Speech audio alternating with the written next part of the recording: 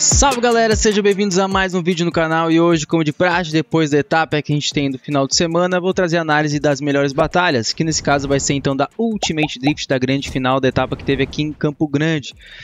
A princípio eu trazer das duas categorias, mas eu não acho que teve nada muito polêmico na Light.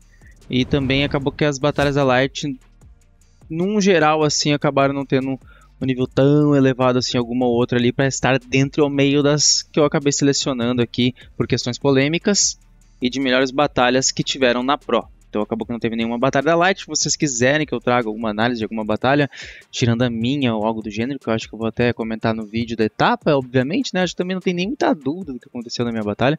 Mas é, em questão de decisão, mais do que aconteceu de fato, isso vocês vão ver no vídeo da etapa que vai estar sendo, acho que na próxima semana. Tô aguardando aí a galera me enviar as imagens todas para eu conseguir fazer o vídeo. Mas enfim, só para explicar para vocês, a gente vai trazer então da categoria Pro, que teve a grande final, assim como a Light, né? A Light teve o DKG como campeão e na Pro a gente teve o Lucas Medeiros, o Sartori e o Lucas que estavam nessa briga para ver quem vai ser, quem seria o grande campeão é, acabou que teve uma reviravolta bem grande no final de semana. Começou com o Lucas na vantagem por questão de pontos, só que aí o carro do Lucas quebrou na segunda volta de classificação e por mais que ele tenha se classificado, ele não andou. E isso seria pior do que a nota que ele teria reserva guardada, que é um top 8 com segundo lugar de qualificação, que seria 50 pontos. Então ele busca de novo essa nota e descarta a nota de Campo Grande. E aí abria muito a janela de oportunidade, até porque ele não escalaria mais, tinha esse risco para o Sartor, do Luquinhas até, sei lá, ir para a semifinal, ele ganharia mais pontos do que ele tinha guardado, e eu acho que até impossibilitaria do Sartor ser campeão. Então tinha essa possibilidade do, do Lucas selar tudo, só que como ele não competiu, tudo isso virou um drama de novo. E aí aconteceu, né, o que aconteceu nas batalhas, e no caso, não mudou muito o favorito, né, o resultado do que já tinha, né, de probabilidade de se desenhando, que foi o Lucas Medeiros como grande campeão brasileiro da categoria Pro. Ele que foi campeão da Light ano passado e nesse ano foi campeão da Pro logo na sua estreia.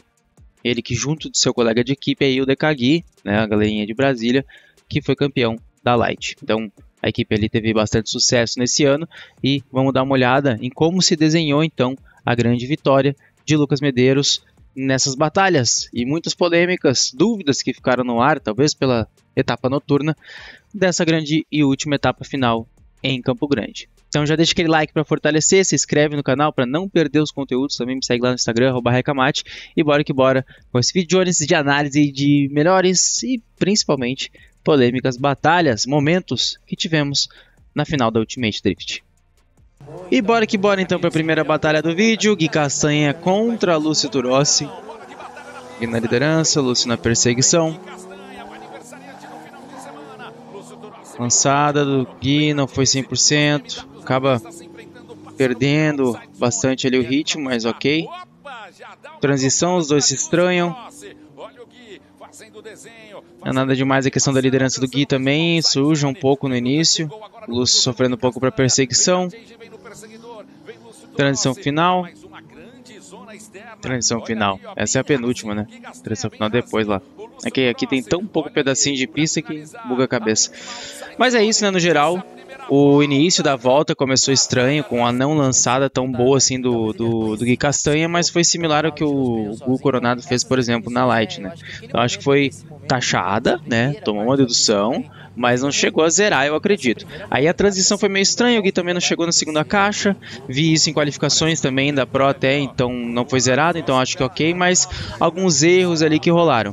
O que mais eu trago dessa batalha, até para quem está se questionando do porquê, é a segunda volta, onde o Lúcio teve um problema logo na lançada, oposto do que... Opa.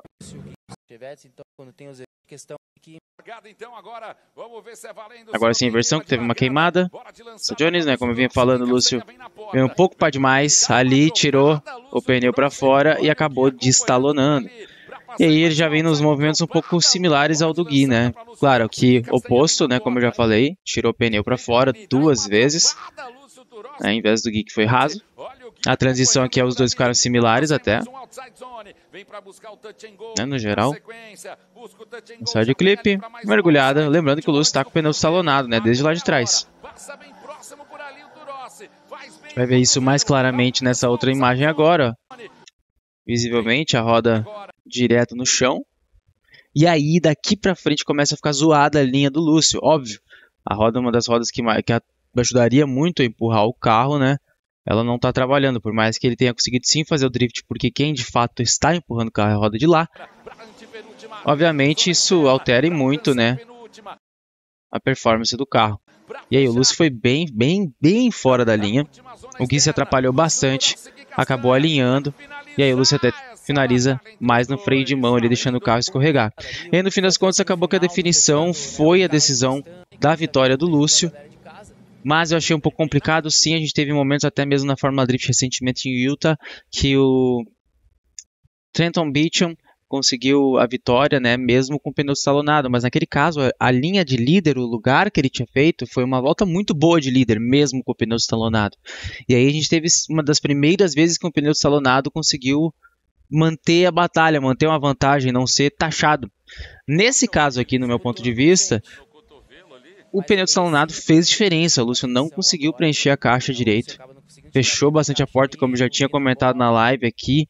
Realmente o carro fechou muito a porta, chegou antes também, então, sabe, bem distante da caixa.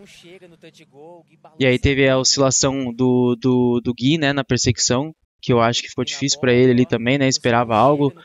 Talvez ficou difícil para ele segurar. Não sei se o carro estava muito devagar por conta também do pneu salonado, mas é algo que eu chamo a atenção aqui. É, porque sim, teve o erro grave do Gui também na lançada, na primeira volta.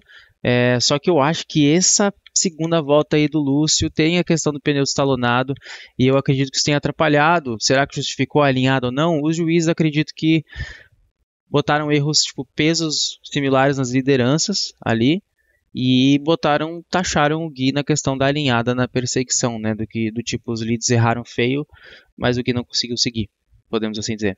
Mas eu acho que talvez passou de ser despercebido ou não esse pneu salonado, mas com certeza afeta é, a velocidade e o desempenho do carro. Com certeza dá para ver que o Lúcio ficou um pouquinho mais devagar no ritmo, até porque ele realmente não estava conseguindo chegar nas caixas, né? E aí, ah, talvez aquela questão do argumento, né, de ah, beleza, mas já teve, já teve batalhas, já teve momentos em que o pneu salonado teve a vitória, né? Na própria forma drift, que a gente tanto fala de referência. Que aí é o caso que eu falei, né? Do Bitumen, que mesmo de salonado, pelo menos a líder dele foi filé, ele foi na caixa, foi bonitão. E se eu não me engano, até o Asbo que estava contra ele, ou posso estar enganado, é... acabou que ele conseguiu fazer a perseguição, principalmente pela linha certa.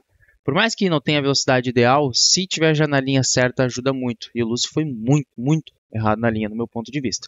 Então aqui eu teria uma decisão de diferente é, sobre essa batalha, talvez até um empate por conta da cagada do Gui também na lançada, que ele fechou bastante a porta e o Lúcio conseguiu manter, por isso que eu, né, o Lúcio fechou a porta do Gui e o Gui perdeu a batalha, né, perdeu o drift, então talvez por isso que os juízes tenham taxado. Mas eu puniria um pouquinho mais aí esse pneu destalonado aí que teve na batalha. E aí a gente vai para uma das batalhas que, cara, decidiu o campeonato. Uma batalha aí também que foi um, uma montanha russa de emoções, né? Nós já vamos para a lançada, Sartor na liderança. Uma lançada não 100%. O fez de pé para botar ângulo no carro. O Marcelo vem um pouquinho mais por dentro na transição para buscar proximidade, manter o ritmo com o Sartor. Mesmo que o Sartor tenha errado, o Marcelo sabe do potencial. Vem na mergulhada. Inside clip. Marcelo fazendo um bom trabalho, notável a evolução dele também. O Sartor acaba errando ali, tira um pneuzinho para fora, perde um certo ritmo, então uma volta atípica do Sartor na liderança, né? O Iceman, ele que normalmente vem com belíssimas passadas, acabou tendo uns erros consideráveis aqui na passada dele de lead já, né? E aí o grande problema, acho que foi que realmente definiu a batalha, né? Porque a primeira parte da batalha foi boa até, inclusive. Marcelo vem na lançada. Lançada rasa. Né, também teve problemas como o Sartor teve. A mergulhada, Sartor mantendo o ritmo. Até então, similar até a batalha entre os dois. Né? A mergulhada e um erro do Marcelo na estilingada, ele espalha demais. O Sartor vai estudando a possibilidade da ultrapassagem, não ultrapassa, perde o drift. E aí, o Marcelo vai-se embora, finaliza a passada, mesmo que não 100% válida e o Sartor acabou tendo problema de quebra no carro, né? E aí a gente vai dar uma olhadinha mais no replay para ver principalmente esse momento, né? Então, teve a estilingada aqui, a esticadinha, o Marcelo deu uma leve alinhadinha, mas ninguém tava taxando, né? Os juízes estavam ok, né? Uma leve alinhadinha normal, uma balançadinha por conta da esticada que é, né? Só que aí o Marcelo acabou passando do ponto no inside, né? Errou bastante aqui a questão da linha. Aqui tinha aquela questão da possibilidade do Sartor poder fazer a ultrapassagem. E a princípio ele tentou, mas daí o carro quebrou. E porque o Marcelo espalhou para demais. Provavelmente os dois iam se bater, tá? Se o, se o carro do Sartor tivesse é, quebrado por conta própria, talvez sentiu o perigo. E aí teve então nessa esse grande momento. Mas que eu chamo um pouco a atenção, por mais que a gente tenha se atentado muito, assim como teve uma outra passada, acho que é do câmera que atrapalhou o Pacheco e a gente ficar olhando para os carros, não viu o Jeff atrás pedindo para o câmera sair. Aqui talvez a gente se focou muito nessa questão de ultrapassagem, do setor parar o drift, de, disso, daquilo. A câmera talvez não facilitou muito, mas se a gente traçar uma linha reta aqui, ó, onde acaba mais ou menos o asfalto, fica uma dúvida grande se o carro do Marcelo saiu ou não com as três rodas. A dianteira, né, esses dois lados aqui com certeza, né, as duas do lado do motorista, que o dele é japonês, é o contrário. Mas as duas do lado, entre aspas, motorista. Acho que aqui a traseira também saiu. Se eu não me engano, tem uma imagem de dronezinho aqui, né? Vamos ver? Não, ó, não chegou a sair. Muito próximo, mas não chegou a sair não, ó. Bem, bem, bem no limite a roda interna. Então, não chegou a tirar os três pneus, né? Tava analisando isso aqui porque do drone ele parecia, tava olhando agora mas não parece aqui pelo drone daí o aéreo, realmente, é que tirou os três pneus Marcelo, o grande erro, né? Aí tinha a questão da oportunidade de ultrapassagem, o Sartor imitar o erro do Marcelo, deixar ele ser deduzido na lead consideravelmente, né? Deduzir pra caramba isso daqui. E fazer a perseguição ou a ultrapassagem. O Sartor tentou ultrapassar, mas na baixada de marcha e na tentativa de né, na relargada, digamos, né, chutar a embreagem, né, tirar da embreagem para daí continuar o carro o carro infelizmente quebrou, né? E aí o Sartor, no mesmo lugar que eu tive problemas, acabou também tendo problemas. E por conta disso, perdeu o campeonato, principalmente. Claro, ele devia ganhar a etapa inteira e tal, tinha que ter uma ótima performance ainda. Ele vacilou na lead dele, sim. Mas aqui foi realmente o que selou, né, a vitória do Lucas Medeiros no ano de 2024. E aí a gente vai então para a batalha mais polêmica que a gente teve no final de semana. E muitos me taxaram porque talvez me envolve, podemos sim dizer, porque eu sou spotter do Éder. Mas muitas minhas opiniões do que eu expressei na live, eu já tinha conversado muito com o próprio Pacheco, com o Sepka, que é spotter do Pacheco, e com muitos, muitos outros pilotos e pessoas né, que discordaram veementemente dessa definição, dessa decisão. Então, é... enfim, Vamos olhar no detalhe ali. E aqui eu vou trazer um assunto bem complexo, até uma algo que talvez a gente pode melhorar e evoluir aqui no Brasil.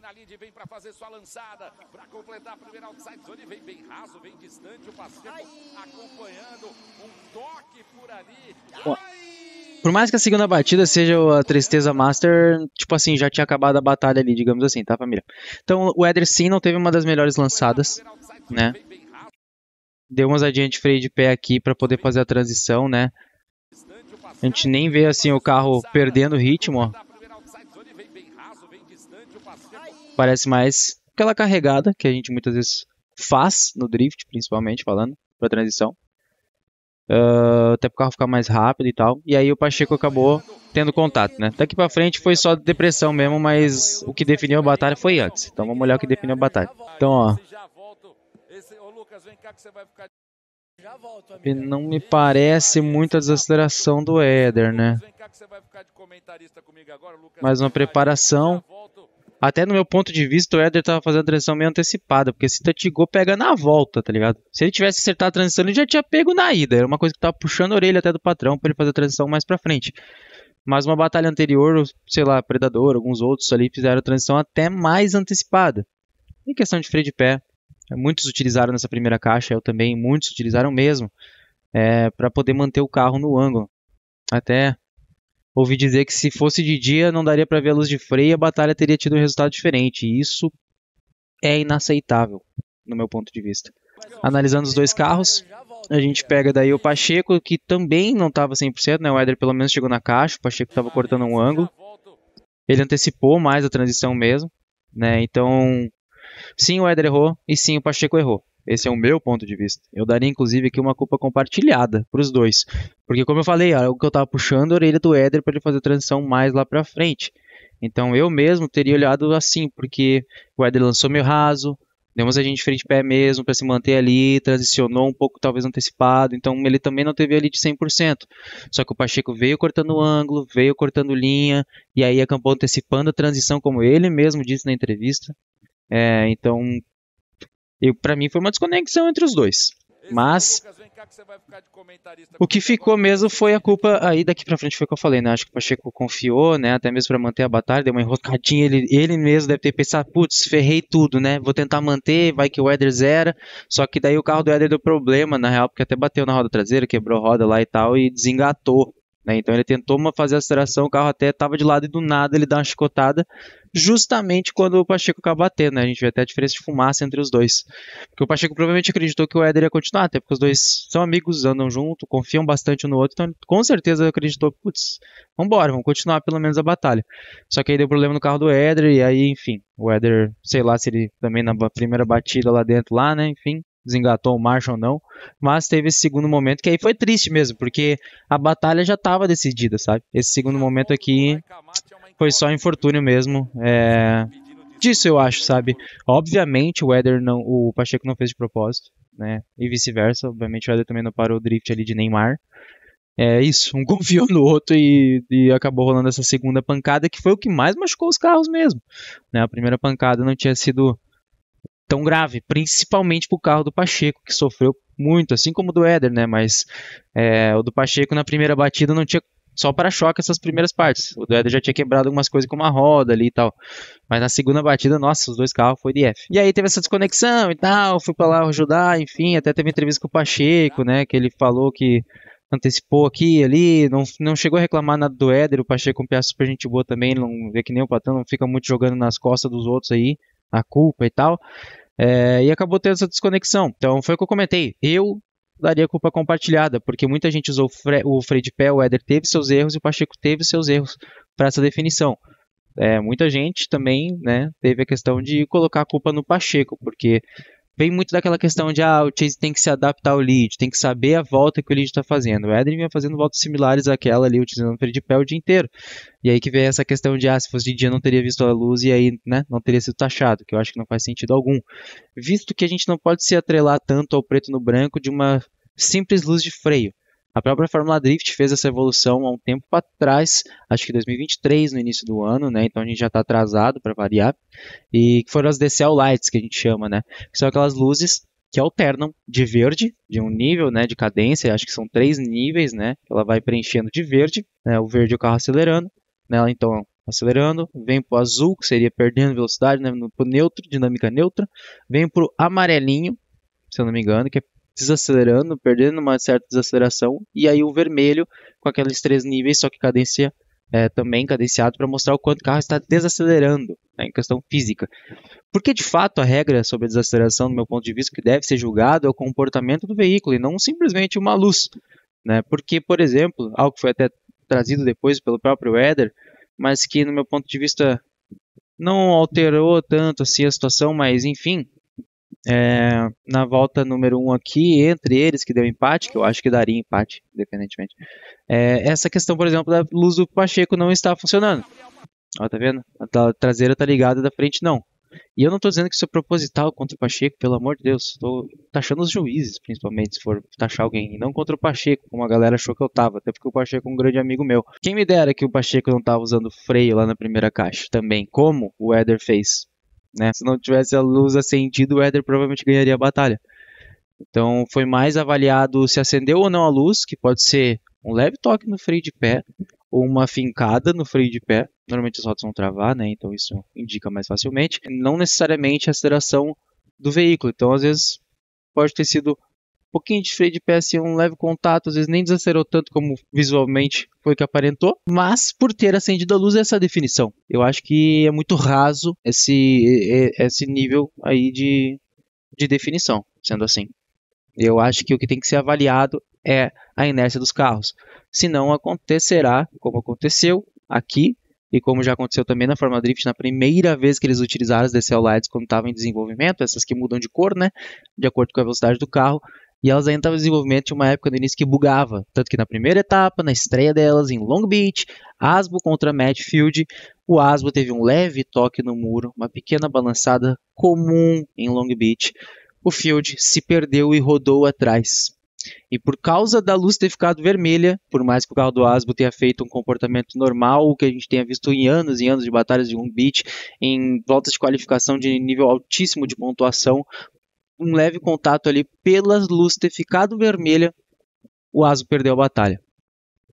E o Field, que rodou sozinho, não conseguiu segurar, acabou levando a melhor. A gente não tem que se adaptar ao que o líder está fazendo, então fica um pouco a dúvida de quando que tem que fazer o quê, né?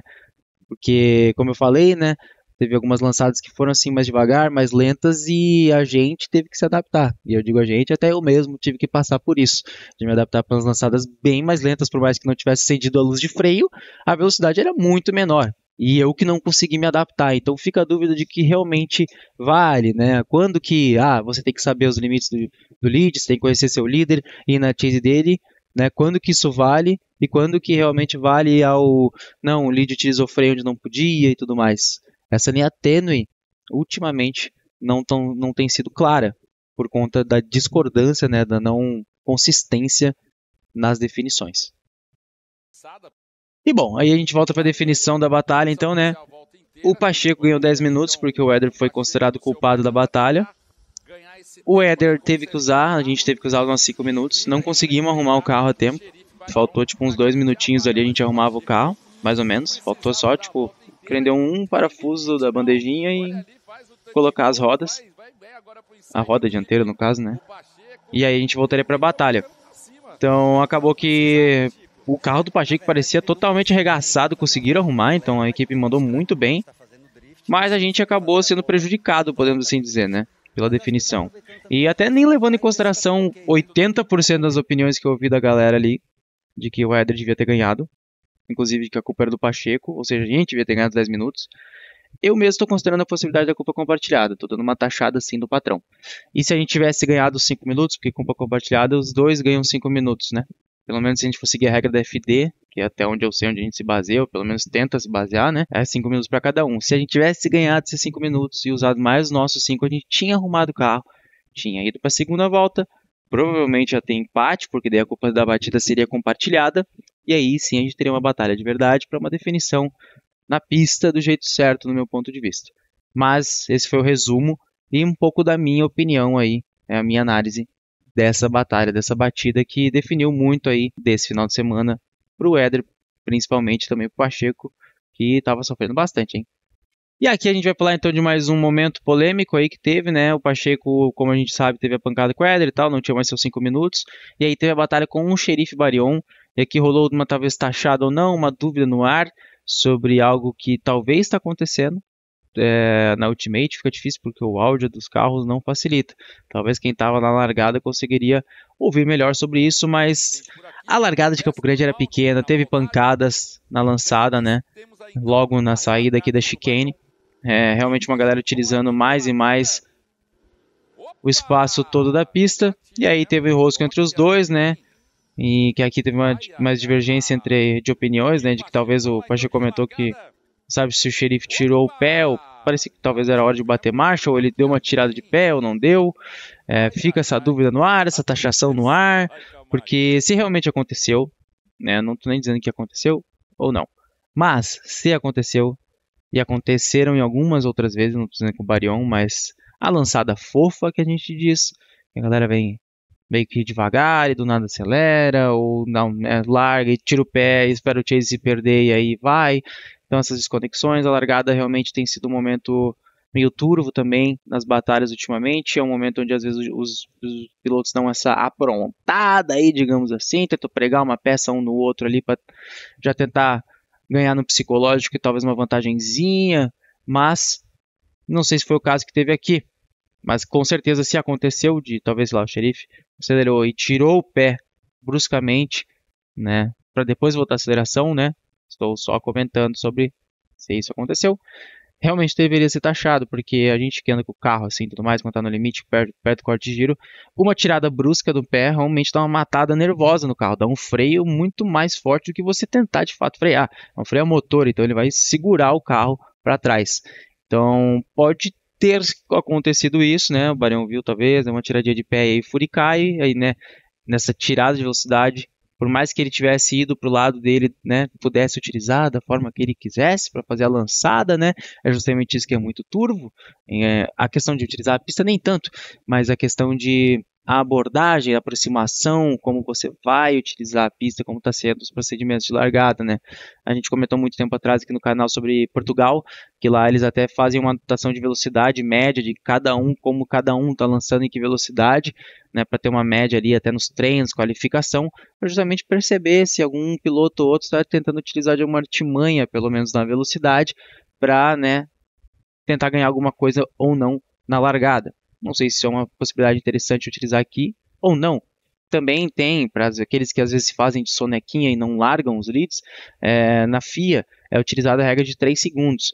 Quando desliga o farol, ali o líder tem 3 segundos para largar. Se ele não o fizer, queima a largada do líder também.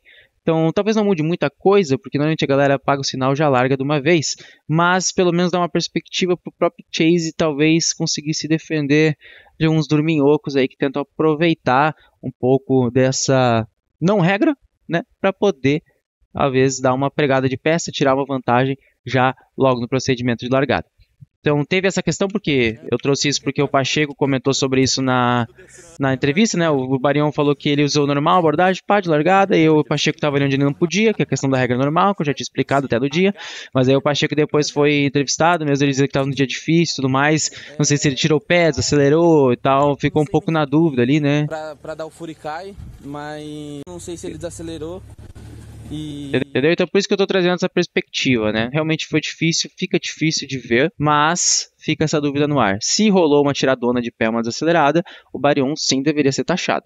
Se não aconteceu, aí, né, procedimento padrão de largada, o Pacheco acabou atrapalhando e bateu. Mas eu quis parar esse momento aqui justamente para trazer esse ponto de que às vezes a galera prega uma pecinha ou outra assim, faz um joguinho, podemos assim dizer ali, na largada. E bora que bora então para mais uma batalha, agora semifinal, né? Realmente essa pista dificultou aí as batalhas bonitas pra gente, hein? E travou o bagulho? Nossa, tinha travado na live mesmo, que loucura. Bom, já vem pra lançar direto então. Achei que tinha travado meu PC, Gustavinho tira um pneuzinho ali. Vem na mergulhada, faz um bom trabalho. Dudu perde um pouquinho ali, mas já se reaproxima.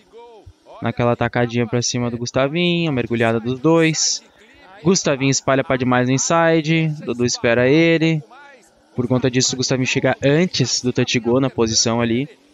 Na outside zone acaba tirando o pneu mais uma vez. O Dudu mantendo a linha ali do líder dele.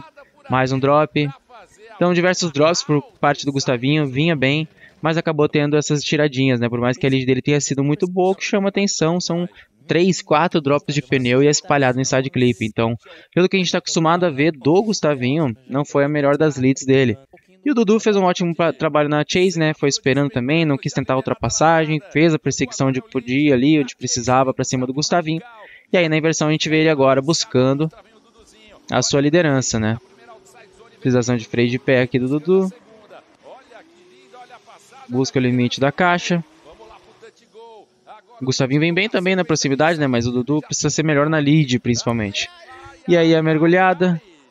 O Gustavinho perde, principalmente o para-choque. E aí o Dudu realmente não para, recebe o toque. O Gustavinho segurou bem também, ele acabou até zerando a própria Chase para evitar matar o Dudu também. Pela lançada que ele fez para cima, mergulhada, atacou demais e acabou pagando um pouco o preço ali o Gustavinho para cima do Dudu. Né? Então, a gente vai vendo aqui o detalhe, utilização de freio de pé. É, no momento da transição também. Padrão para dar aquela tacada. Mergulhar Jones e aí o. Eu taxei o Léo da Hornet que bateu na minha porta, safado. Ainda postou nos stories que a culpa foi minha. Mereço. Vou falar pra ele, ó, sabe que é Cell Zone? Enfim, Aqui a vitória foi do Dudu, é meio óbvio, né? Porque ele fez uma ótima lead e o Gustavinho fez as cagadas na lead também na Chase, principalmente, mas eu trouxe principalmente a semifinal para vocês verem como foi aí as grandes finales aí, né, dessa última etapa do ano.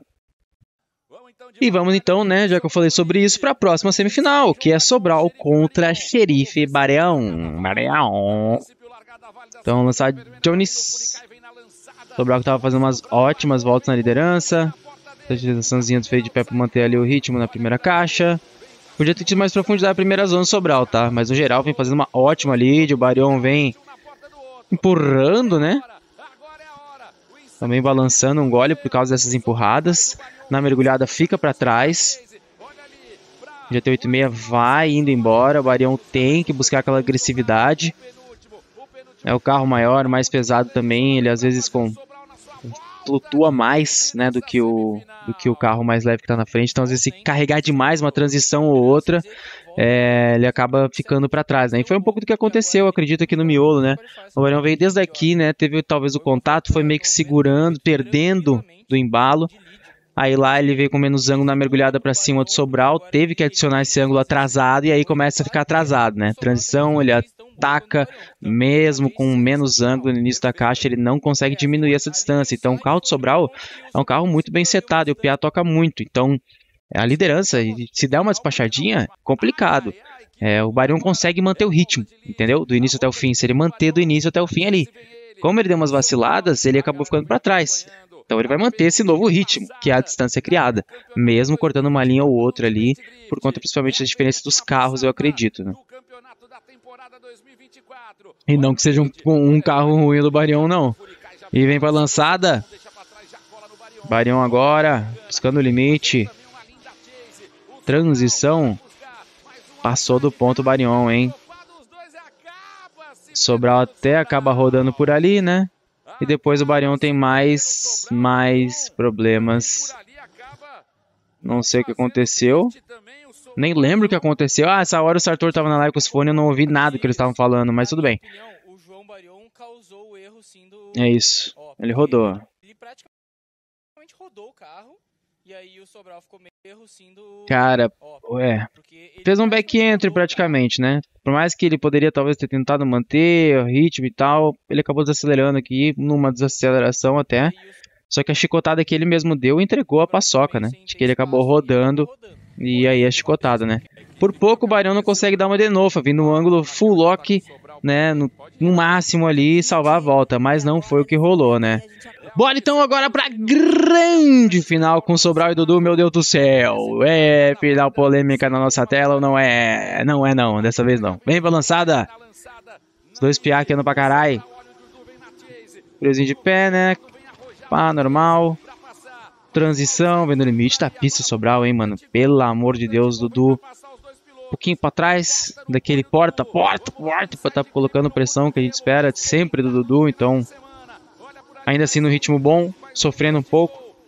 E o Sobral vem no limite do limite, né? Tem uns pontos aqui, né? Podia ter entrado mais no limite da caixa, mas aí a gente tá querendo ser bem chato. Querendo ou não, é uma lead 90 a mais, uma ótima passada. O Dudu também fez uma chase absurda, né? Como é uma final, vou deixar também o replay para vocês. Então é isso. Acabou que o Dudu manteve esse meio carro assim de distância, não conseguiu colar, colar, colar, mas ainda assim um nível altíssimo dos dois aí, né? Então uma passada muito, muito boa de ambos os pilotos aí, o Sobral e o Dudu. O Dudu aqui acabou dando uma vaciladinha, né? Perdeu um pouco de ritmo, teve que dar uma tirada de ângulo para se aproximar e a transição final, meu amigo, passou lambendo em sangue frio o Dudu. Quase que enrosca, será? Meu amigo do céu. E bora que bora para a inversão. Dudu agora na liderança. Na perseguição Sobral. Lançadores bastante ângulo aplicado pro Dudu. Não chegou no limite da caixa não. Transição. Sobral tentando se adaptar. O Dudu sai um pouquinho cedo daquela segunda zona externa. Side clip. O Sobral leva para passear o cone. Dá uma balançada na mergulhada. O Dudu acaba que espalha para demais. Chega muito cedo, Totigol consegue levar o carro até lá. Transição. Sobral mantendo um bom ritmo.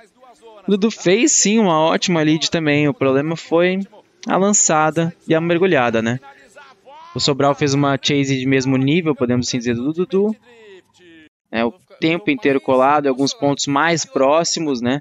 Aqui algumas roubadinhas aqui e ali também, né, para manter o ritmo, mas o que realmente chama atenção é a liderança que o Sobral teve para cima do Dudu, né? O Dudu errou muito aqui nessa mergulhada e aí acabou pagando o preço, principalmente da batalha, né? Também teve aqui, acho que um drop de pneus, né? Teve um drop de pneus. Daí ele dá uma tiradinha para poder manter o carro. Então, mais erros por parte do Dudu. Ainda assim, uma batalha muito boa, batalha digna, digna de final, né? E aí a gente vai acabar pulando daqui pro pódio, né? Dessa grande final. Então tá aí, ó. Sobral em primeiro, Dudu em segundo, em terceiro, Xerife Barion, em quarto, Gustavo Radical. E em quinto, o Lúcio Turossi. Esse que foi o pódio da etapa aqui de Campo Grande. E aí, em questão do campeonato, né? Acho que vem para cá. Isso. E aí, do campeonato, Luquinhas Medeiros, grande campeão. Barion P2, segundo lugar. Sartor em terceiro. Dudu em quarto. E Gustavinho Radical em quinto no Campeonato Brasileiro um pódio de grandes pilotos. Espero que ano que vem eu esteja aí, ó. Vou incomodar vocês, hein? Vou incomodar vocês. Mas é isso, moçada. Esse foi o vídeo de hoje, trazendo principalmente as polêmicas, né? Teve algumas batalhas boas, mas mesmo as batalhas boas, as semis ali, tiveram grandes problemas nas definições. E foi cercado, rodeado, regado definições assim, unilaterais é, nessa etapa de Campo Grande, que teve sim uma pista mais dificilzinha, essa esticada, com a mergulhada, desaceleração mais forte traz uma dificuldade considerável. A pista no limite ali o tempo todo, tirar um pneuzinho quase o tempo todo, a possibilidade de estalonar, buscando o limite da pista, melhor passada, realmente o risco estava considerável. Por mais que a gente não tivesse muro em questão de batidas, né, o risco na questão de zerar, né, de perder por conta de um erro, de passar um pouquinho do ponto justamente por não ter um limite que cause até medo, podemos assim dizer. E aí definiram em muitas das batalhas. Beleza, galerinha? Então, esse foi o vídeo de hoje. Espero que vocês tenham curtido. Trouxe mais algumas questões polêmicas e um pouco do meu ponto de vista sobre as questões de julgamento. É, umas coisas que eu discordo um pouco do que aconteceu. Mas é apenas meu ponto de vista também, né? Eu tento sempre entender os juízes para ver o que, que a gente precisa fazer. Para, tá, quem sabe, buscando e levando o P1, né? Buscando o lugar mais alto do pódio. E para isso a gente precisa, querendo ou não, fazer o melhor no olhar dos juízes. Mas enfim, eu gosto sempre de compartilhar meu ponto de vista aqui com vocês e também com todo mundo que acompanha. Eu sei que alguns dos juízes acompanham, às vezes, o conteúdo aqui no canal, alguns pilotos também, para compartilhar um pouco da minha opinião, cruzando um pouco né, do que a gente vem feito aqui em questão de regulamento, decisões de julgamento, do que a gente vê lá fora. E eu acredito que, por exemplo, as DCL Lights sejam algo que pode e somar muito aqui no nosso país. Para não ficar algumas coisas aí, né, que a gente está melhorando sim, né, como cenário competitivo, muito preto no branco. Né? Nem sempre as coisas são tão claras e às vezes as coisas são tão turvas e aí às vezes a regra acaba passando por cima, né? E até tirando um pouquinho do julgamento de verdade que a gente teria. Enfim, não vou me aprofundar muito mais sobre isso, senão vão ficar falando que eu sou chorão também e vai tomar banho todo mundo aí que falou isso aí, firmeza? É nóis demais, para vocês curtirem o vídeo, deixa aquele like, se inscreve no canal para fortalecer e eu sou Raikabate, vou ficando por aqui, até a próxima, valeu e fui!